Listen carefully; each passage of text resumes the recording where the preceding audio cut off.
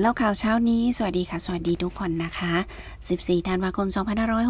2565 มีข่าวมาอัปเดตสำหรับพี่น้องเกษตรกรชาวไร่อ้อยนะคะ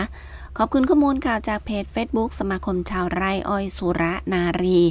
โดยได้อัปเดตการสรุปหารือ โดยสออนสมาคมชาวไร่อ้อยทุกสถาบัน และโรงงานน้ำตาล 57 โรงงาน วันอังคารที่ 13 ธันวาคมที่ผ่านมา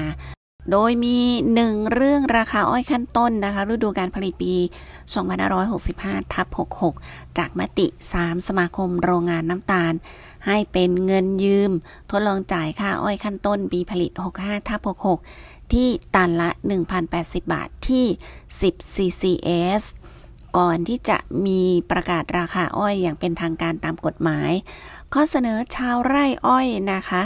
1. ให้มีการกำหนดราคาอ้อยเป็น 2 ราคา 1.1 ให้กำหนดราคาอ้อยที่ 1,100 บาท ทุกเขตยกเว้นเขตที่ได้ต่ำกว่า 1,100 บาท 1.2 กำหนดราคาอ้อยที่ 1,080 บาทสำหรับเขตที่ต่ำกว่า 1,100 บาทนะคะ ซึ่งราคาตารางอ้อยที่แนบเป็นประมาณการของสออนข้อเสนอฝ่ายโรงงานน้ำตาลนะคะ เห็นควรให้ ประกาศราคาอ้อยเป็นราคาเดียวทั่วประเทศที่ 1,080 บาทต่อตัน เพื่อเป็นการป้องกันความเสี่ยงและไม่ให้เกิดการแย่งอ้อย ฝ่ายราชการมีความเห็นว่า เพื่อเป็นการแก้ปัญหาของชาวไร่อ้อยที่ตัดอ้อยขณะนี้ ควรกำหนดราคาที่ตันละ 1,080 บาทไปก่อน ส่วนการประกาศราคาอ้อยเป็นราคาเดียว หรือ 2 ราคานั้นเป็นหน้าที่ของคณะกรรมการที่จะกำหนดนะคะ 2. เกณฑ์การตัดสินคุณภาพอ้อย การตัดอ้อยสดให้ตัดโคนตัดยอด อย่าให้มีใบเขียว ความเห็นของชาวไร่อ้อยนะคะ จากเกณฑ์ที่กำหนด จากการตัดอ้อยสดดังกล่าวชาวไร่อ้อยเห็นควร ให้มีการเพิ่มเงินช่วยเหลือการตัดอ้อยสด เพื่อเป็นแรงจูงใจ โดยให้ภาครัฐสนับสนุนเพิ่มจาก 120 บาทเป็น 150 บาทต่อตัน